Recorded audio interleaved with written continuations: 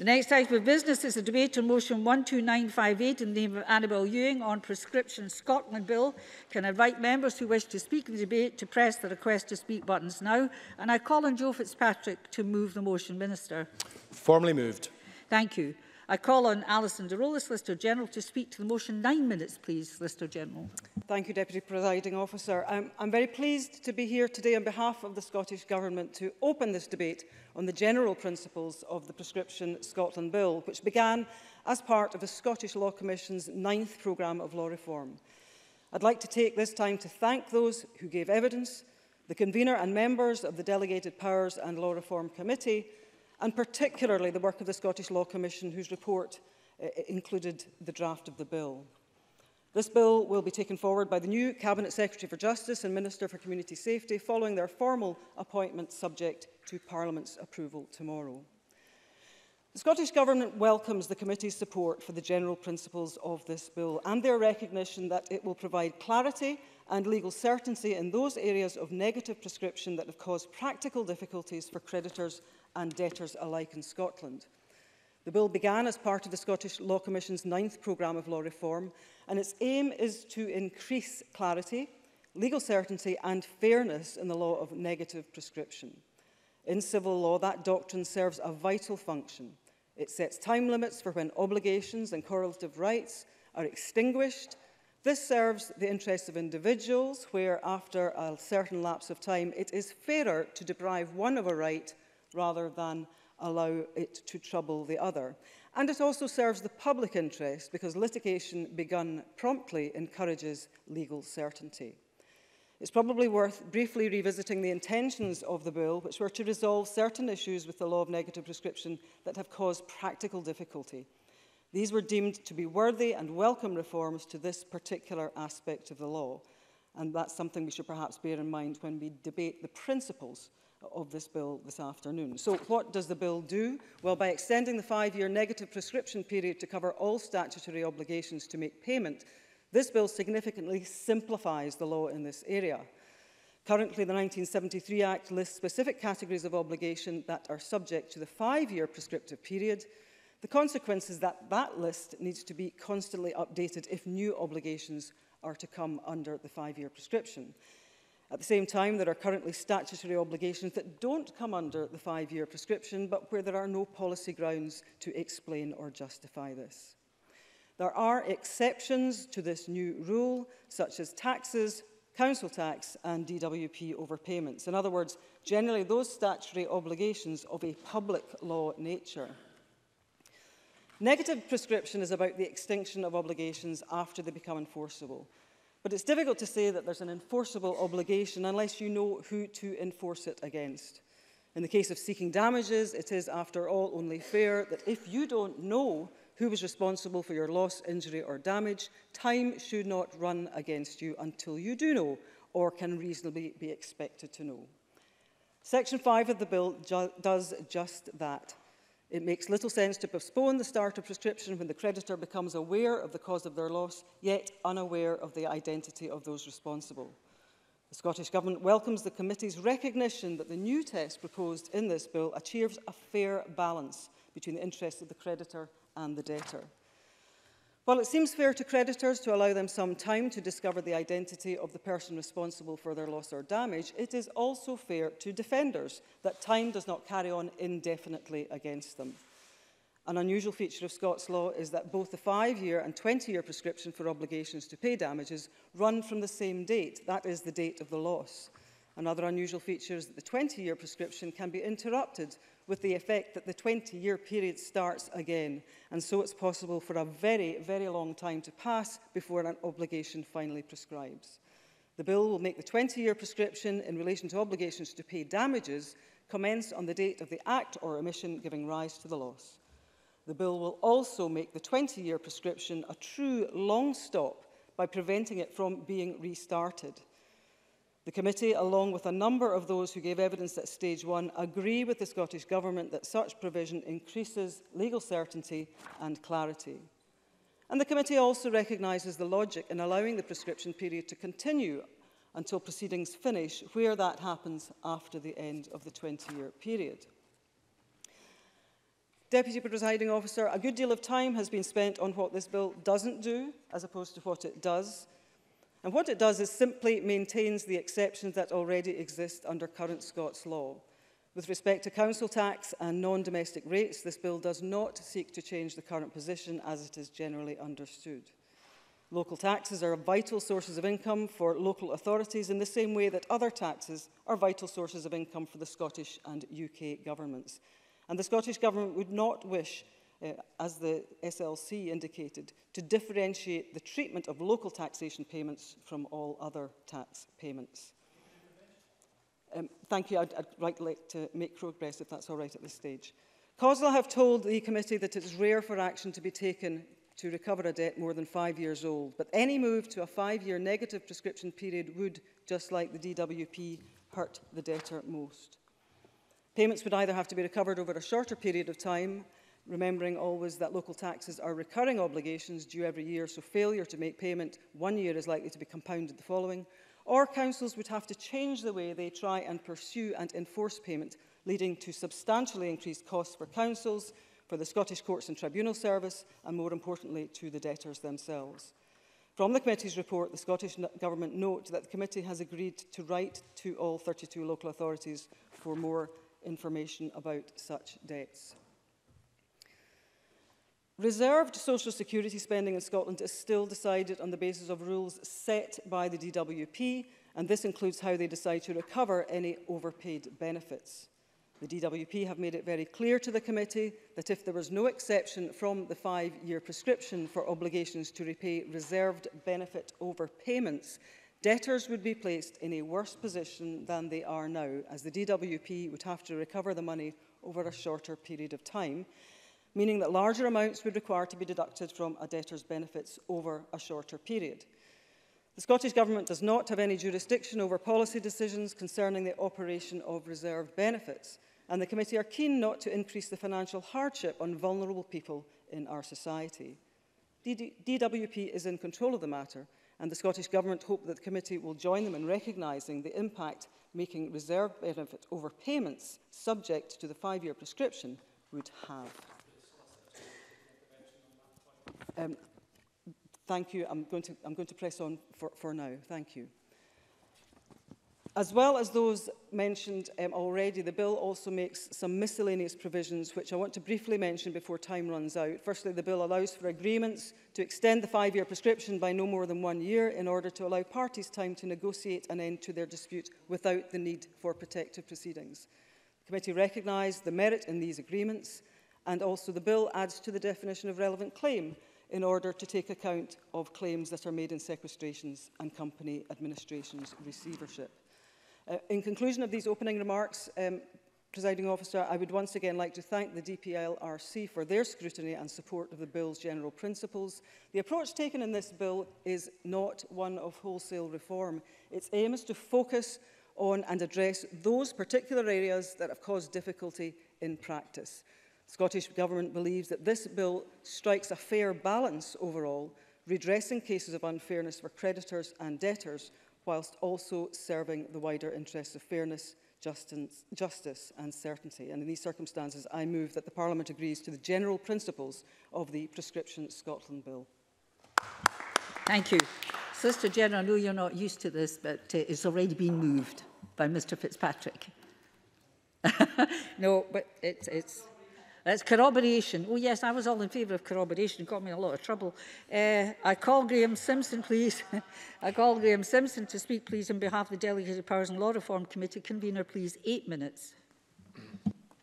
Thank you, uh, Deputy Presiding Officer, and can I also thank uh, Ms Durello for stepping in today. Um, one of the responsibilities of the Delegated Powers and Law Reform Committee is to scrutinise Scottish Law Commission bills – These bills can often be seen as quite technical, and members may think our scrutiny is therefore quite turgid. And perhaps as convener, I've just gone a little native, presiding officer, but the Prescription Scotland Bill has proved to be a thoroughly interesting, important, and thought provoking piece of legislation. I do appreciate that many members looking at today's business may not have previously given much thought to this bill. You may have felt that as a Scottish Law Commission bill, there's generally a wide degree of consensus among stakeholders for the need to reform the law and that any changes are fairly procedural and uncontroversial. Indeed, if you're asked to take part in this debate, you may have thought you just need to take your prescription and move on. You may even have thought it's about the prescriptions you get from your doctor. We've all had them, but thankfully very few of us have had anything to do with the prescriptions covered in this bill. There are some bills that you can really get stuck into, the planning bill, for instance.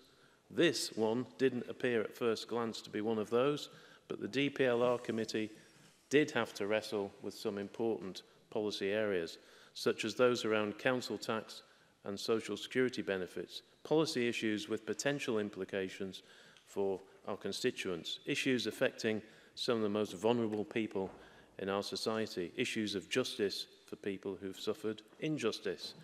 Let me give two examples that demonstrate why the bill is so important uh, and why it required our committee to give it such robust scrutiny. Before I do, uh, and for those members who are new to the legal term of prescription, I found a handy way of thinking about it to be the available time in which you're able to make a claim against loss. So if you miss the deadline, That's the prescription period. Your right is extinguished. You're sadly too late. Firstly, I'll turn to the case of Morrison versus ICL Plastics. This, as many members will remember with great sadness, stemmed from the tragic explosion at the Stockline Plastics factory in Glasgow in May 2004, which saw nine employees killed and many left seriously injured. The case centered on a nearby business, David T. Morrison and Co., which had suffered significant damage from the explosion. However, when it sued ICL Plastics, who owned Stockline, for its loss, ICL defended the claim on the basis that it had already prescribed. In essence, Mr Morrison was told he was too late to receive justice. The case revolved around the interpretation of the existing legislation – that's the Prescription and Limitations Scotland Act 1973. And what was the start date? What the start date was on which the loss, injury or damage occurred.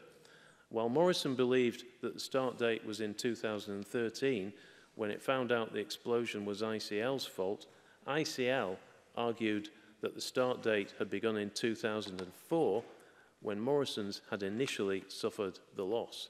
The Supreme Court by a majority of 3 to 2 found in favour of ICL. The committee recognises the impact that the Supreme Court's decision had on the law of prescription. We therefore agree with the bill's proposal in section 5. This allows the pursuer to know who caused the loss before the prescription period begins. It will mean that in future, people like David Morrison trying to seek recompense for damage suffered due to negligence will not be told it is too late to pursue the ICLs of this world, and that's a welcome change to the law. Another example uh, might help explain Section 8 of the bill, which covers the start date for the longer 20-year prescription period. Under the bill, this will now start from the date the act or omission occurred which led to the loss. Fenella Mason, head of construction and projects at the law firm Bernice paul gave the helpful illustration of a problem with a large infrastructure project such as, uh, and I don't want to cause uh, any worry to the uh, current Transport Minister here, the Queensfree Crossing. Uh, Ms Mason asked the committee to assume that back in 2008, one of the bridge's engineers produced a defective design.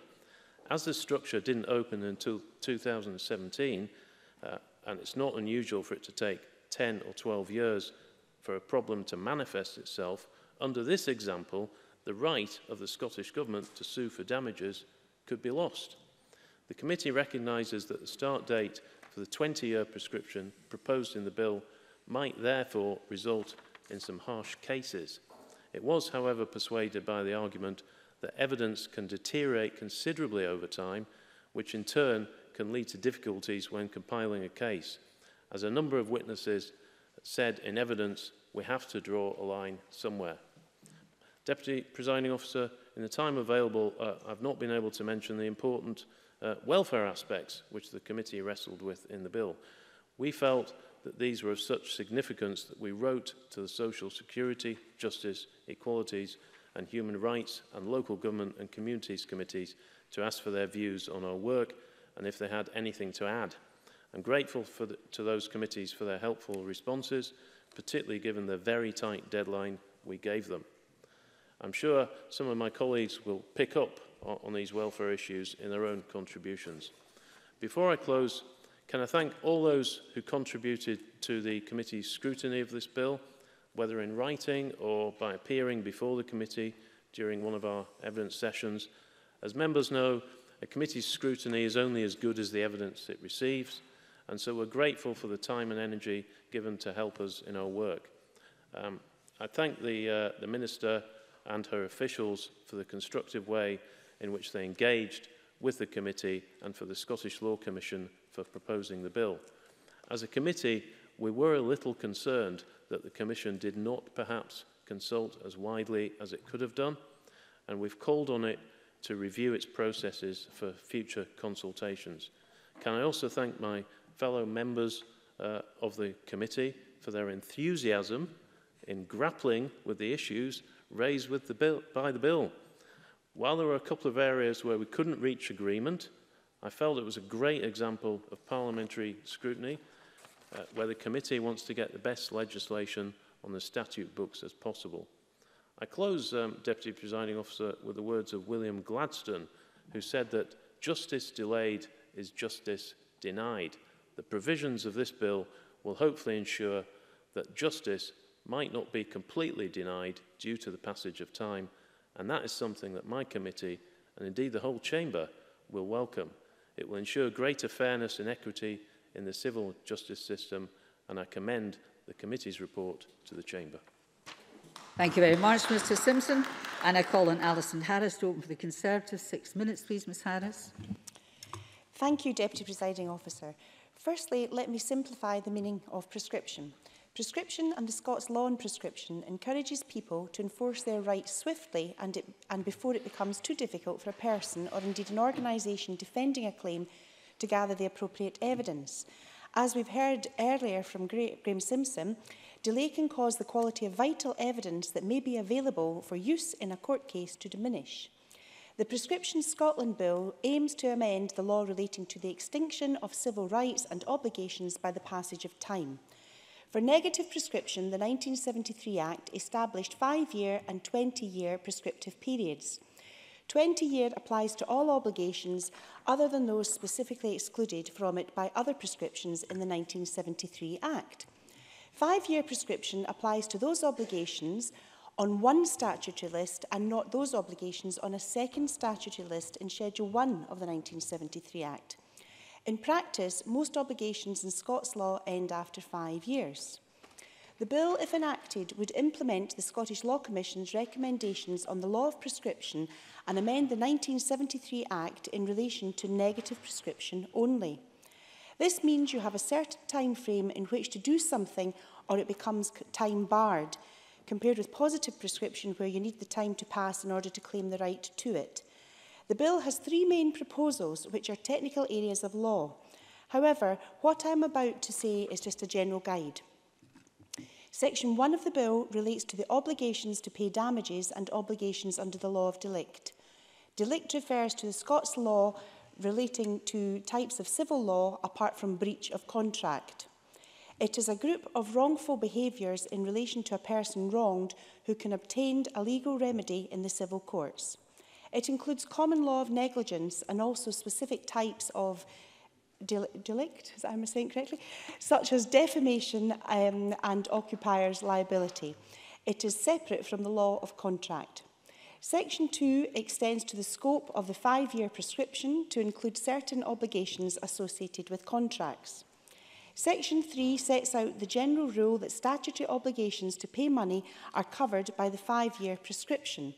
However, there are some statutory obligations only covered by the 20-year prescription.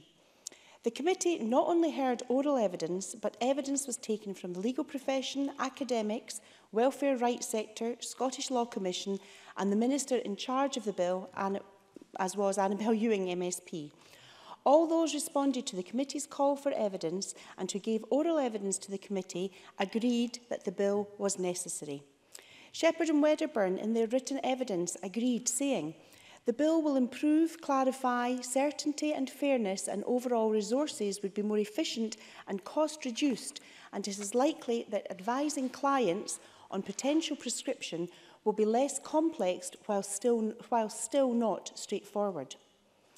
Under the existing 1973 Act, the five-year prescription applies to those obligations uh, on one statutory list and to uh, sorry on one and not to those obligations on the secondary statutory list as detailed in the act the lists have been amended many times over the years making the law extremely complex Section 3 of the bill would extend the five-year prescription to all statutory obligations to pay money with some exceptions that would remain within the scope of the 20-year prescription.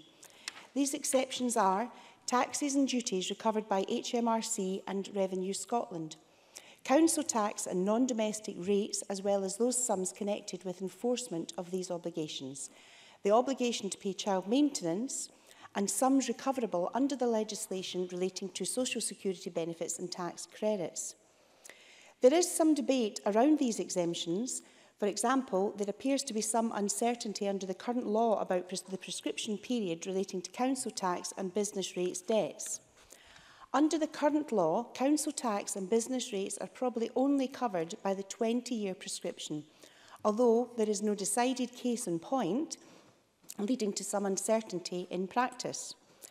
It is not as clear-cut as simply five or 20, uh, eh, five or 20 years when you consider the aspect of joint and several liability in situations where people genuinely believe that they have paid only to discover the debt is still outstanding and significantly more than the original amount. Joint and several liability is a general principle of Scots law but it is, it is an area that people do not always appreciate the meaning of or the severity of the implications. The committee has recommended that the Scottish Government give further consideration to the exception for council tax and business rates and provide a more detailed description of the public policy arguments for the exception ahead of stage two. The committee also recognises that there are wider policy considerations in the bill, particularly in relation to welfare rights. Overall, the committee welcomes the greater certainty that the bill will provide for users of the law and the committee agrees with the bill's aim to increase clarity, certainty and fairness to the law on negative prescription and considers that the bill, as drafted, generally meets its aims. Deputy Presiding Officer, can I also thank the four committee members who responded to the questions that were put to them on the wider policy areas and can I also thank the clerks on the committee for their time, patience and effort that has gone into guiding the members through this bill. Thank you. I call Daniel Johnson to open for the Labour Party. Five minutes, please. Thank you, Deputy Presiding Officer. I'd like to begin my remarks by registering my thanks to Michael Matheson and Annabel Ewing in light of the announced reshuffle. Over the course of the time that I've spent shadowing the Justice Brief, we have, of course, had some notable disagreements, whether it's police governance, BTP merger or repeal of the Football Act, there's also been some very uh, clear areas of constructive engagement, whether that's around the broad issues of prison reform, making sure that the, the judicial system and the criminal justice system works, or also more specific circumstances around the civil litigation bill. So I'd give thanks to both of them and wish them luck in their new roles. Um, I would also uh, like to welcome Humza Youssef, and I'm glad he's here this afternoon on the front bench, and Ash Denham to their new positions. I look forward to engagement with them, be it constructive or indeed on occasion critical where need be.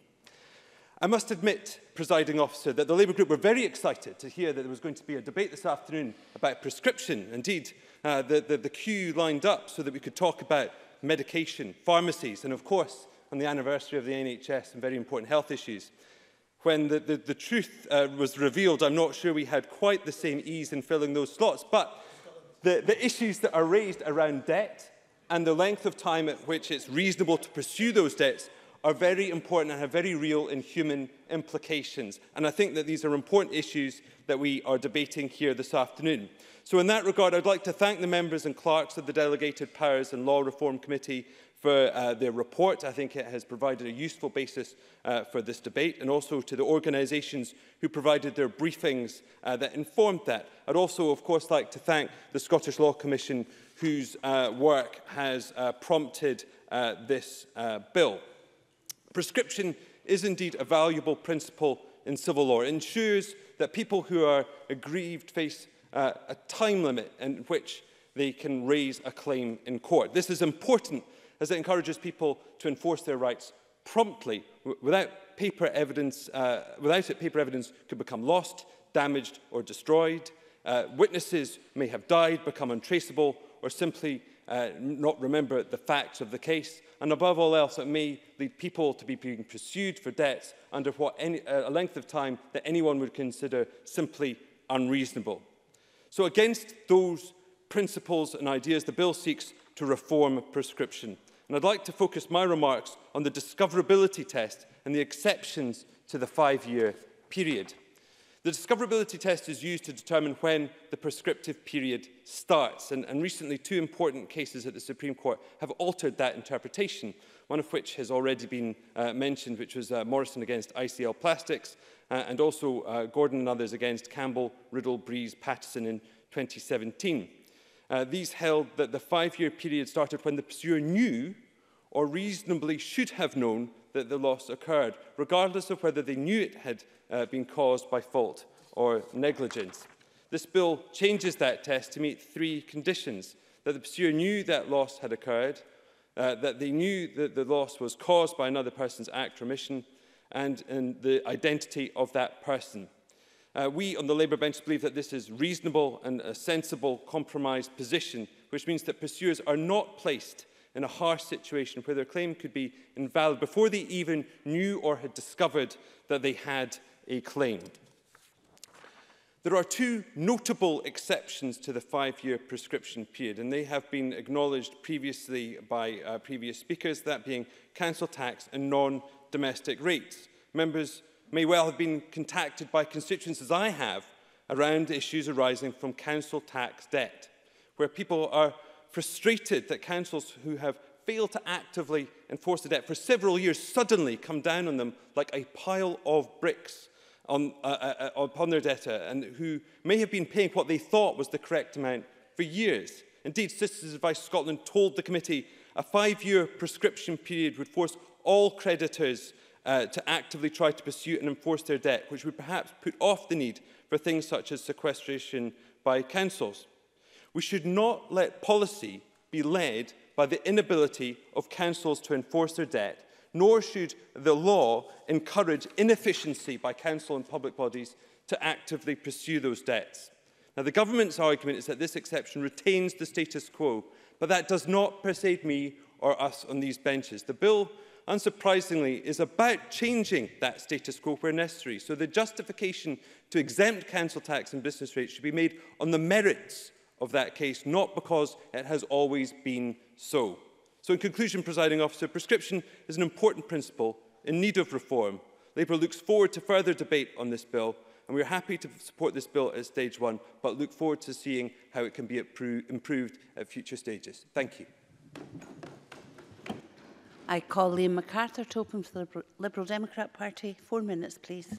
Thank you very much, uh, Deputy Presiding Officer. Could I, like uh, Daniel Johnson, start by uh, acknowledging the contribution made by um, the Justice Secretary's predecessor, Michael Matheson, and Annabel Ewing.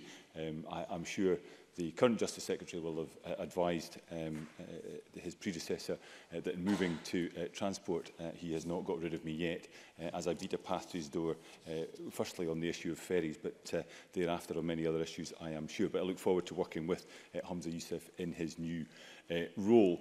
Uh, unlike most of the colleagues, well, um, except uh, Daniel Johnston, I'm painfully conscious that I've not had the advantage of many colleagues in the chamber this afternoon of listening to the stage one uh, evidence. Uh, that's never ideal, but on a bill, as uh, Graham Simpson uh, acknowledged, is highly technical in nature uh, it does make me rather uh, nervous, as I'm sure the Justice Secretary feels uh, himself to be as well. Nevertheless, having read the committee's report, and I paid tribute to the work done by the committee, uh, as well as the many briefings from uh, stakeholders, for which I'm uh, more than usually grateful, Uh, there are a small number of points I wish to raise um, uh, in, uh, in the brief contribution uh, this afternoon. Firstly, I think it's worth confirming that Scottish Liberal Democrats welcome this bill.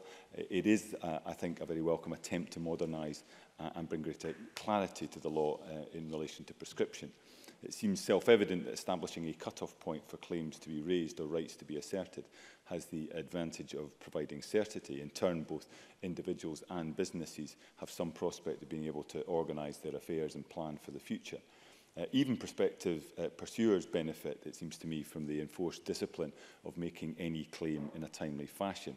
As the Law Society point out, quote, many years after the fact, evidence will have deteriorated or disappeared and relevant individuals may longer be traceable or indeed have passed away. So while this does not preclude the possibility of unfairness arising in individual cases, the principle underlying the bill appears to be, to be sound.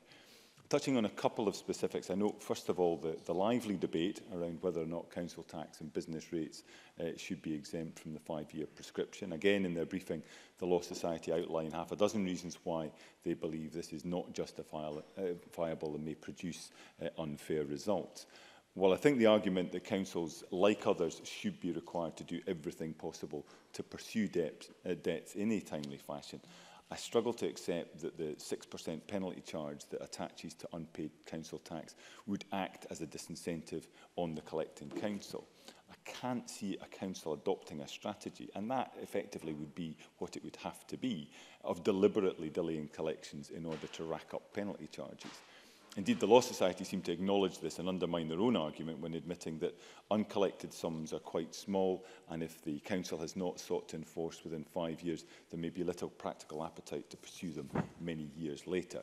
Uh, I have more sympathy with Cosla's concern that introducing a five-year prescription would disincentivise payment and lead to a decline in in-year collection. That said, uh, I note the, com the committee was unable to reach an agreed position on this. I also uh, noted uh, Daniel Johnson's comments, uh, and the, the committee is looking for further rationale for the exception uh, in advance of stage two, and that to me again seems a sensible strategy, and I will, uh, like others, look with interest at the responses that are forthcoming. Uh, In relation to the discoverability test, the Bill's proposals to start the five-year period only when a pursuer knows they have uh, suffered a damage, injury or loss, uh, it was the fault of someone else by act or omission, and they can identify that party on balance, offers more upsides than downsides, particularly in terms of legal certainty.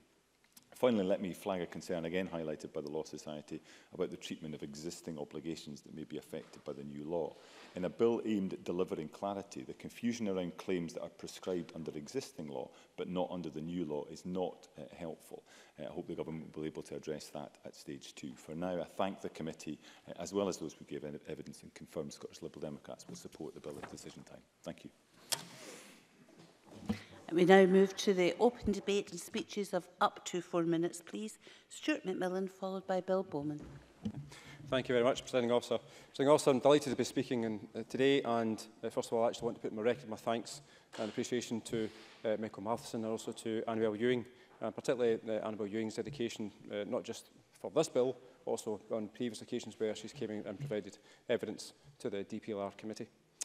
Uh, I welcome the bill uh, and as, the, as a committee uh, we do recommend the Parliament agrees to the recommendations of it in paragraphs 52, 56 and 57 of our committee report provide that clear indication uh, that this bill is a step forward and will provide clarity of understanding but also that stakeholders are generally content with its proposals.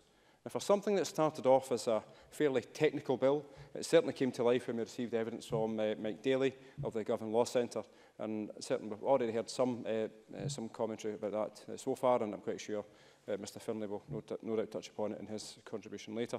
But the, the, certainly the Minister and, the, uh, and certainly uh, the Solicitor General have already touched upon the technical nature, uh, sorry, well, the, not the Minister, the, the, the Convener uh, and also the solicitor General have already touched upon the technical nature of the bill, which has been helpful, but uh, I want to touch upon a couple of other areas. The Scottish Law Commission have brought forward uh, three bills in recent years, and previously I've raised the suggestion, where possible, uh, could there be the potential for more than one uh, small technical area of legislation to be brought together to help progress dealing with outstanding issues? And I still believe uh, that actually would be beneficial on occasion. Uh, but this bill, however, highlighted a different scenario regarding the SLC consultation process. As the bill is technical, then the, the examining of some areas, such as welfare rights, might not have been fully pursued. And this became evident once we started our deliberations, and our executive summary actually highlights this. And although the, the welfare rights sector uh, were contacted during the SLC consultation, it was only as we actually undertook our work did we establish some issues uh, really affecting them. Our recommendation that the SLC, in a quote, review its consultation process with a view to giving greater policy considerations a greater level of attention when deliberating on law reforms is therefore something that I firmly believe would be beneficial. The Section 3 of the bill and its exceptions clearly uh, are the main focus of our report and considerations. Now, we couldn't agree as to whether the exception for council tax and business rates was appropriate now, with councils clearly wanting the status quo and the evidence from Mike Daly suggesting it should be cut, then there was very little other evidence. Then we had to try to, to test what was actually being suggested. Now, our writing to both COSLA and SOLAR, as well as the four other committees of this Parliament, was an action, uh, and we believed uh, to, to actually to, to write to test any new evidence, and that was the right thing to do. Now, the COSLA response was helpful, but as we indicate in the report, it wasn't politically signed off. Thus, our decision Therefore, to write to all 32 councils is also the correct thing to do. Attempting to establish exactly the situation of debt broken down into like five yearly periods will be advantageous for further understanding and the deliberation of this section and the bill. And the cause of response, however, it did indicate that the collection period, if it was reduced from 20 to 5 years then, the higher instalments would have to be applied, therefore, having a detrimental effect upon debtors. Now, the very same people we actually all want to protect. Ultimately, we all want the bill to be right. Now, we all, uh, I'm sure, actually have a, a great deal of sympathy with the arguments proposed by Mike Daly. However, a few things need to be considered, in my opinion. Firstly, is this the correct bill to attempt to change that part of the law? Secondly, why should this bill hamper the ability and flexibility of local authorities in collecting unpaid council tax. And the reduction from 20 years to 5 years is vast, so what should the effects actually be? And so therefore our letter to the councils will hopefully provide some further information to help here. And as the Solicitor General uh, touched upon, uh, sorry, as the Minister indicated in her reply to the committee, a uh, report that the 20-year prescription will no longer be capable of interruption by a relevant claim or acknowledgement and will therefore act as a true long stop. Ultimately, Presiding Officer, I'm delighted that this uh, technical bill has been recommended to progress and I look forward to the next stages of the bill's journey in Parliament. Thank you. Call Bill Bowman to be followed by Mark Griffin. Uh, thank you, Deputy Presiding Officer. Can I thank my colleague Graham Simpson, the convener of the Delegated Powers and Law Reform Committee, and the committee clerks for their work on this bill. Having substituted on the committee for my colleague Alison Harris whilst the bill was being discussed, I'm grateful to be able to add my voice today. The bill enjoys support in and out of Parliament, with the convener recognising the general contentment amongst stakeholders. The Law Society of Scotland summed it up, noting that it would modernise and bring greater clarity to our law of prescription. It will do so through a series of changes to the five-year and 20-year prescription. It is not an attempt at wholesale reform, but rather it aims to address specific issues which have caused or may cause difficulty in practice. More fundamentally, it aims to clarify, sorry, to bring clarity, certainty and fairness while balancing the law between creditors and debtors. With that in mind, the committee has recognised the need to address various issues before the bill reaches stage two, such as cases involving council tax, benefit overpayments and situations where a 20-year prescription can cause, result, can cause a result in harsh can result in harsh results for individual cases, too much harshness. On council tax, the committee split on whether it should be exempt from the five-year rule, the disagreement coming down to balancing perceptions of fairness with public policy.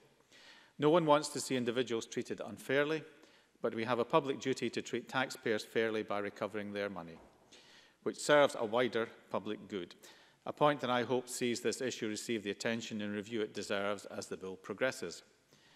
That process is already underway. The committee will write to local authorities to ascertain how many still have council tax and business rates debts outstanding after five years and how often payment has been sought using the 20-year prescription.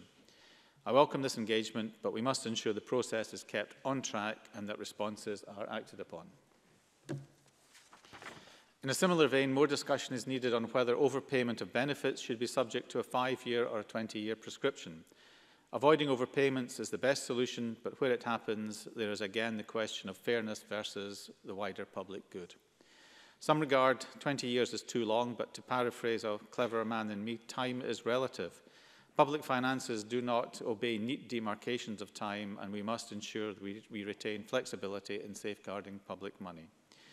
Regarding the 20-year rule itself, there is always going to be a need for longer prescription periods, even as we recognise the problems it can create, such as gathering evidence after a number of years. The bill balances that necessity by strengthening the hand of defenders through much earlier prescription starting points in many cases and preventing court proceedings from reset, resetting the clock on the 20-year period. That measure in particular is a welcome boost as it offers greater certainty to defenders. Certainty is the fundamental point. People must be able to live their lives without fear that they will forevermore be open to lawsuits.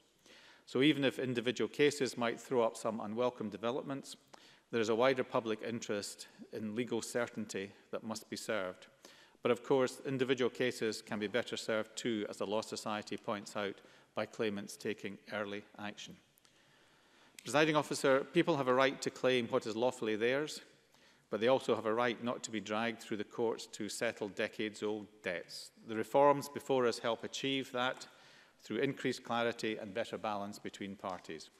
However, as we move towards stage two, I hope ministers will pay heed to the concerns raised by the committee and seek to address them in a manner that carries Parliament with them. That would allow the bill to continue focusing on the substantive issues and ensure the continuation of the broad support seen today. Thank you. I'd appreciate it if the last two open debate speakers could come in just under four minutes, please. Mark Griffin, followed by Tom Arthur. Thank you, President Officer. Uh, we welcome the Prescription Scotland Bill, the new discoverability test that requires a person to be aware that their loss, injury or damage was caused by a person's act or omission and to know the identity of that person before the start of the five-year period is fairer than the current law. However, it's disappointing that while the bill seeks to simplify prescription and ensure that all debts, with few exceptions, arising from personal contracts or statute should be covered by the five-year rule, the government has been persuaded to exempt certain statutory creditors. Uh, in particular, the exemption of council tax and benefit payments under UK legislation from five-year subscription making them subject, subject to 20-year subscription leaves people vulnerable to high penalties many years after they first incurred them, even when they might not have been aware of them. And given the six-year prescription that covers council tax and the overpayment of benefits in England, England and Wales, this bill fails to provide that simplicity, fairness and clarity, particularly for those accessing devolved and reserved benefits.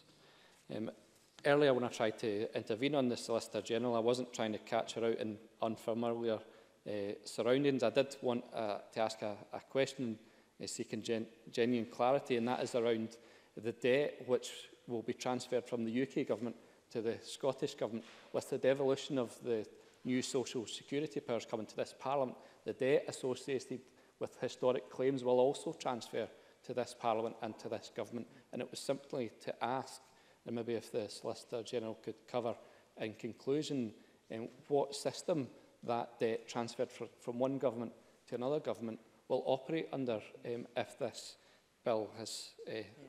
successfully passes through all stages in this Parliament.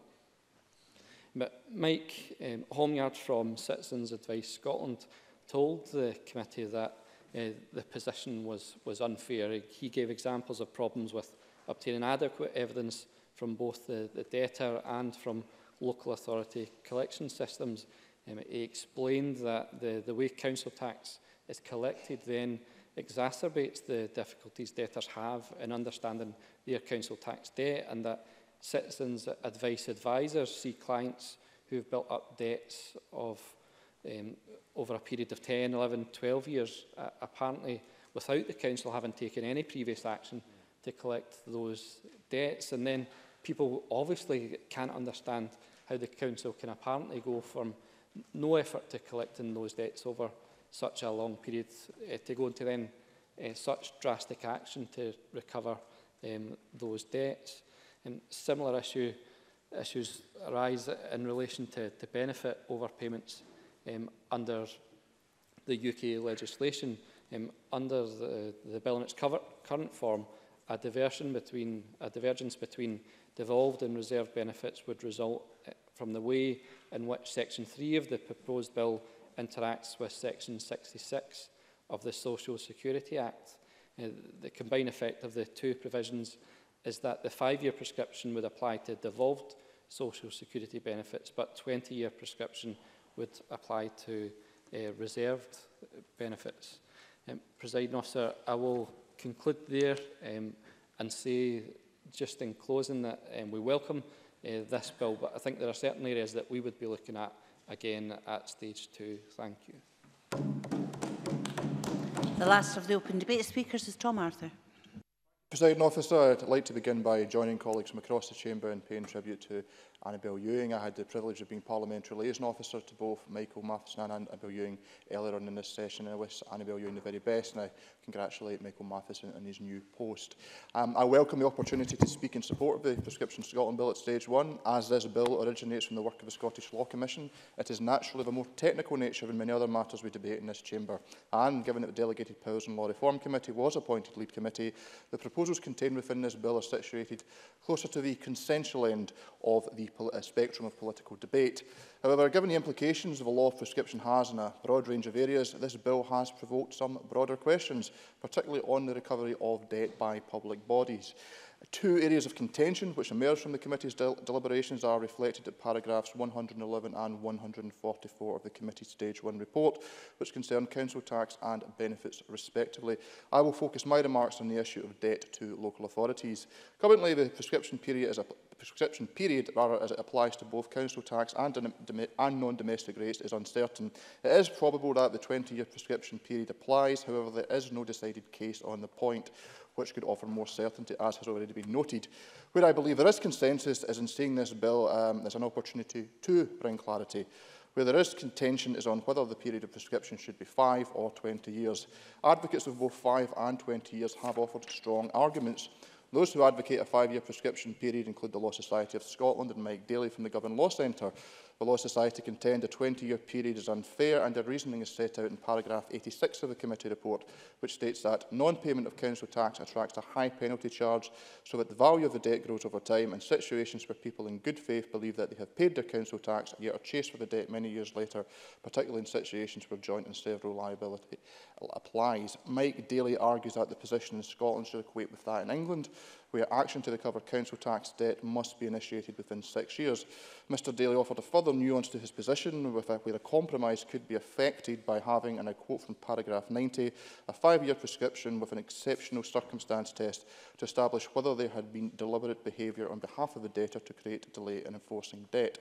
Those advancing retention of 20-year prescription included both Solar and COSLA, though I should state that COSLA's response to the committee had not been politically endorsed. Both organisations highlight the importance of local taxation to councils and the need for a legal regime that allows effective collection of debt. A further argument the committee considered was that of parity between the local and national governments with regard to the prescribed period for debt recovery. While I am sympathetic to the arguments made by the Law Society and Mike Daly, I am not, as of yet, convinced that the bill under consideration today is the appropriate vehicle for delivering significant reform of local authority debt collection. There are three reasons that have uh, led me to this view. Firstly, there has um, so far been insufficient consultation with relevant stakeholders regarding the implications for any reform though as my colleague Stuart McMillan um, referred to earlier, efforts uh, have been undertaken in that regard. Secondly, on a practical level, the process of council debt recovery is normally commenced swiftly, and the consequential is uh, issuance of a summary warrant creates an effective 20-year prescription period. It should be noted that this compares favourably to the English equivalent of a liability order, which, um, as an instrument of English law, is indefinite owing to the lack of prescription in that jurisdiction. Thirdly, and lastly, I believe that there is a risk of the bill going beyond its SLC-inspired remit and trespassing into policy areas that should be the concern of other committees in this Parliament beyond DPLR. Presiding officer, time limits me from going uh, into further detail on the issues of benefits. However, I do look forward to hearing the government's response to the issues raised in this debate as we go forward. Thank you. Uh, we now move to the, the closing speeches and I call Neil Finlay Uh, up to four minutes, please. Yeah, thanks, President Officer, and can I welcome the new ministers, although I, I think they've departed, uh, and uh, thank the uh, outgoing ministers for their uh, public service. Uh, can I also thank the uh, Solicitor General and the convener for setting out uh, the committee and the government's uh, position on this bill and highlighting some of the key issues uh, uh, uh from the bill. Uh, there are welcome changes on uh, discoverability and other technical aspects that we've heard about during the debate. But I want to focus on how this uh, bill and the issues around it impact on people. Um, I, in a past life, worked for six years as a housing officer in the social housing sector. I was a frontline housing officer, working with tenants of housing associations and councils. And I took a great interest in the welfare rights side of the job, trying to ensure that people received their entitlement, but also that the council or housing association was paid the rents and housing benefit that they were owed. Uh, that job was a tremendous apprenticeship for going into politics as you see people's lives in the raw and going in and out of people's houses every day and helping them deal with the financial pressures means you understand the stresses and strains put on families and communities. You get an understanding of the crushing impact that debt can have on relationships and mental and physical health and general well-being. And as a housing officer, I had to take in, had to, in cases of extreme debt, invoke an eviction process, which ultimately meant people lost their homes. And housing officers in Scotland are faced with that awful dilemma every day. It is very uh, grim, it's the worst part of the job, and actually it's evidence of failure of policy. And in my experience, many debts came on the back of problems within the benefits system, from either people having their benefits stopped, benefits reduced, or with overpayments accruing through errors in the system. And I say this against the backdrop of this bill. And particularly in relation to the exemption of council tax and reserved uh, overpayments under UK legislation, uh, meaning that people will be subject to a 20-year prescription period and possible higher penalties uh, after that debt is discovered. Um, these people might not be aware of that debt. They might have long disposed of any files or records that they have at home that would help them address that debt when they have discovered they have it. Um, six-year period covers council tax and overpayments in England and Wales, but it would be 20 years in Scotland. In relation to uh, uh, the poll tax, the Scottish Government took the correct action to write off historic poll tax debts after almost 30 years. But now under this system, if it is enacted, people will have council tax debt hanging over them for up to 20 years. Now, let's think about that. If the benefit system was starting from scratch and the UK government was starting all over again and proposed a six-year debt recovery period in England, but a 20-year period in Scotland, there would be rightly an outcry. But that is what's being proposed by what is in the bill. We've heard from the Govern Law Centre. Mike Daly made a very uh, positive contribution to our proceedings, as did the CAB, and we've had written evidence from the Child Poverty Action Group. All of them share my belief that the law and prescription in Scotland for council tax and reserve benefits over payments should be brought more in line with England and Wales, and my Labour colleagues have said that today. So we, we believe that a five-year prescri prescription period brings us more in line with what's happening in England and Wales. And I have to say that if we don't see any movement in this uh, during uh, the progress of the bill, then we will bring forward such an amendment at stage two. Thanks, President Officer. Call Gordon Lyndhurst for up to five minutes, please. Thank you, Deputy Presiding Officer. In a debate of this nature, it may seem that my right to say anything interesting by this stage has been extinguished by prescription. Uh, so let me start by saying, mentioning my entry in the Register of Interest as a practicing advocate. Uh, prescription may seem to be a boring lawyer's topic, uh, these lawyers with their pedantic pronunciations. Uh, it is, of course, an ancient uh, topic known to legal systems the world over, and it hardly needs to be mentioned that the Romans, with their usa capio and other rules, were the basis of much of present-day European thinking on the matter. When I was at Heidelberg University, I remember a professor teaching us about the subject, and telling a story to illustrate its meaning. He told, as a student, of purchasing a bottle of something, I'll let others guess what was in the bottle, um, as he only gave a receipt to the shopkeeper and didn't actually pay for it at that stage. And he thought, as a student, what a convenient arrangement this was. Um, however, he said it would not be convenient if, more than 40 years later, the shopkeeper came calling and demanded payment of the bill for that bottle.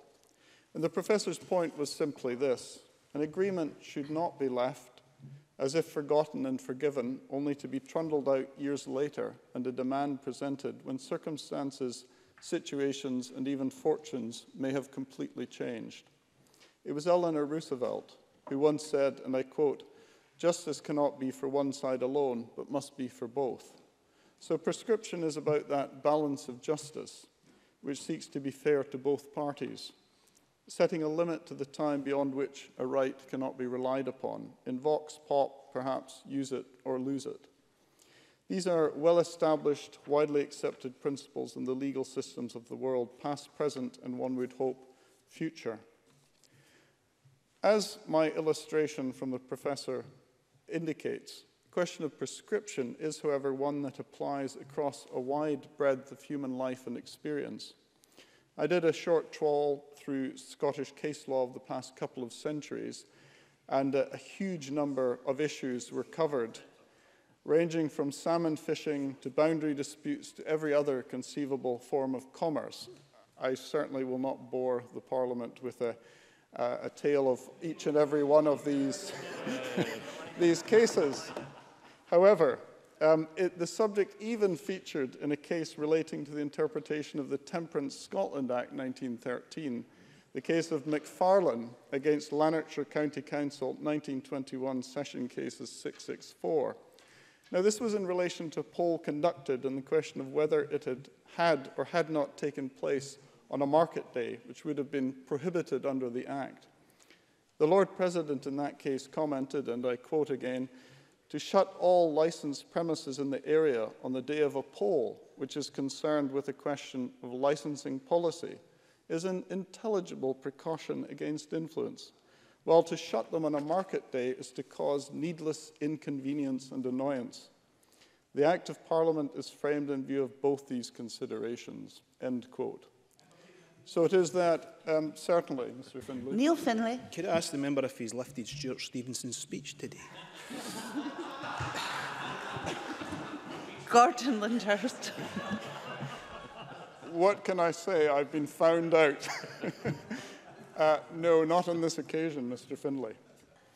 So I go on to say it is that need to balance the rights and obligations of creditors and debtors that the bill before us is aimed to achieve, and also to achieve desirable clarity in the current prescription regime, because fairness requires that clarity, not just the balancing of interests.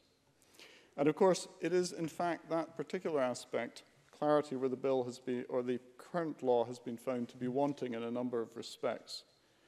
Um, so the bill is to be welcomed, for we all need to know where we stand when it comes to our rights and obligations, and we need to know within a reasonable time.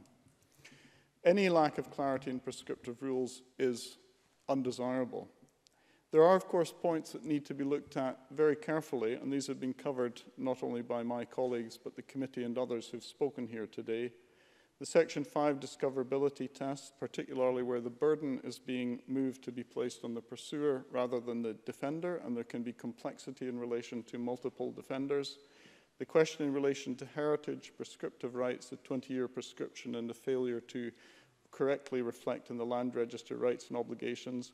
And finally, as a point, the one raised and so eloquently um, talked about, perhaps in a lifted speech from um, Mr. Stevenson by Mr. Finlay himself, that to do with recovery of taxes and obligations to the state. And the question, of course, raised by Mr. Finlay, should that and why should that be a longer period than relation to private individuals?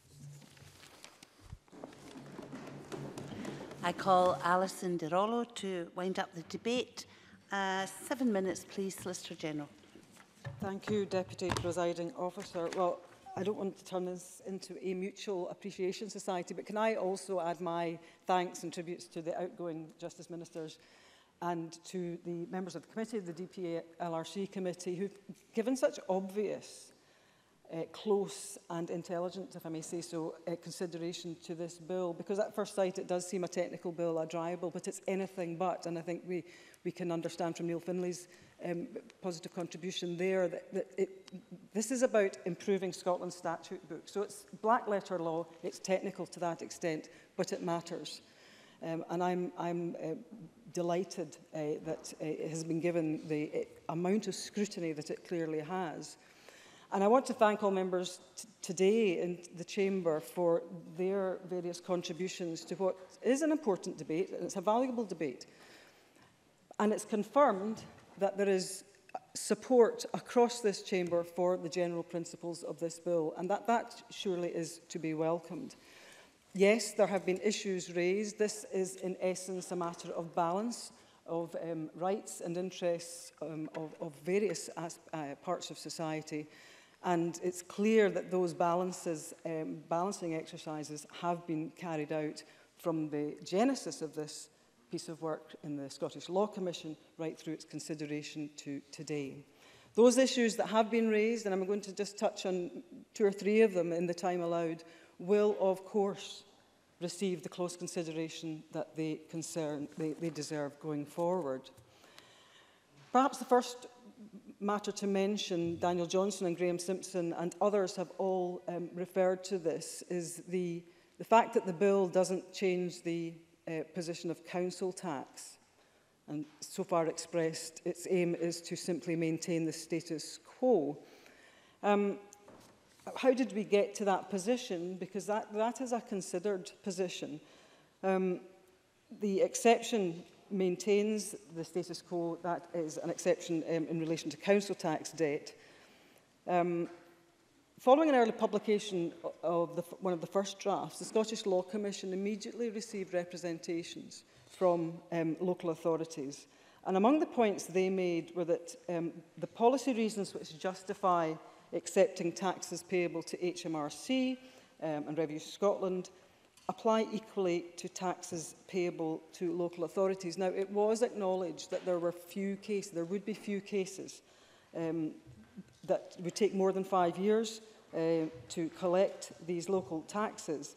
Um, but the point of principle, I think, was made and was made well, and certainly the Scottish Law Commission, taking a, a, a, a, an overview of all of this, the Scottish Law Commission was persuaded by the arguments that... Um, yes.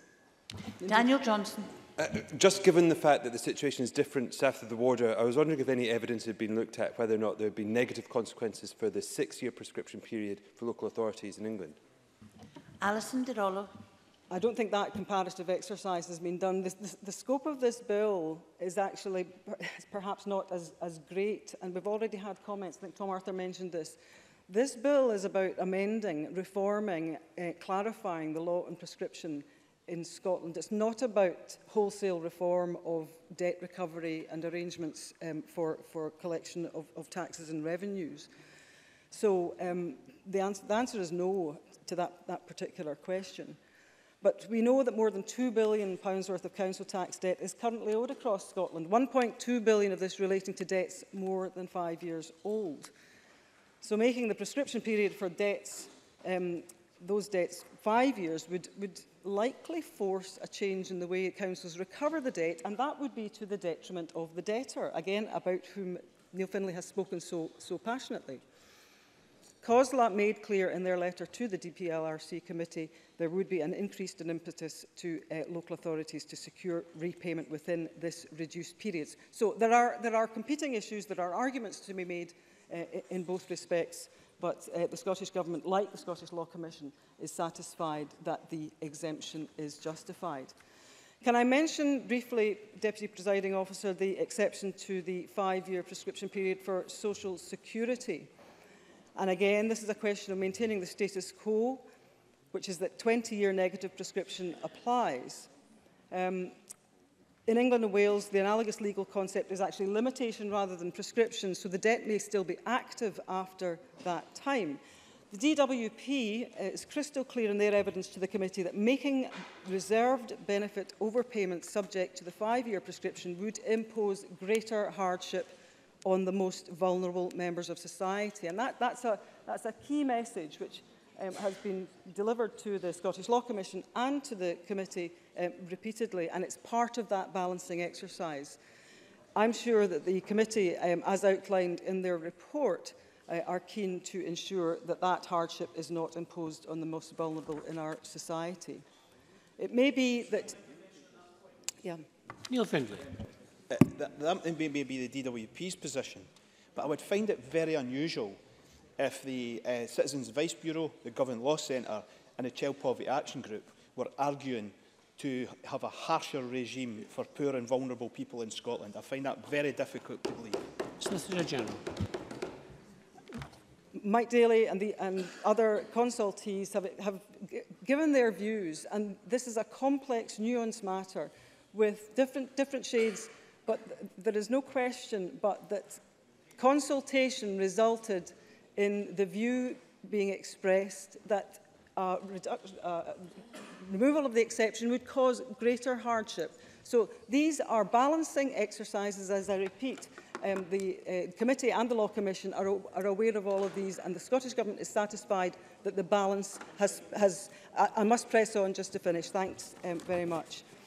Um, the final matter, which I'll mention, presiding officer and uh, Daniel Johnson and Tom Arthur um, have mentioned it, and Alison Harris gave us a, a helpful explanation about the discoverability and joint and several liability. Um, the Scottish Government also consulted SLC on this point, and the bill doesn't change the law on joint and several liability. But th this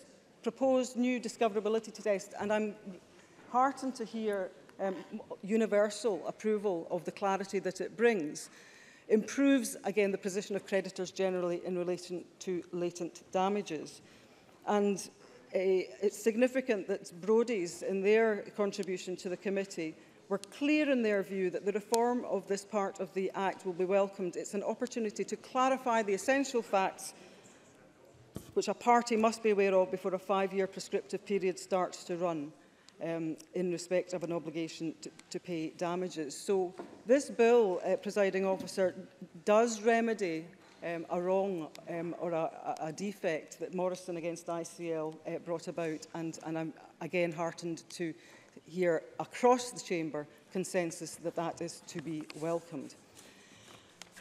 Presiding officer, I think to conclude now, there are, there are many, many more issues in this technical but fascinating bill. I would simply like to thank members again for their contribution to today's debate. It's clear that many, if not all of you, support the general principles of this important bill to provide fairness, clarity and certainty to those areas of the law of negative pre prescription that have caused practical difficulties in its operation. The bill, therefore, is an opportunity for this Parliament to protect those who have a claim from running out of time in which to proceed with it, to change the current situation of possible perpetual liability to those claims, including those who have historical council DAX debt, and to make clearer which obligations prescribe after five years.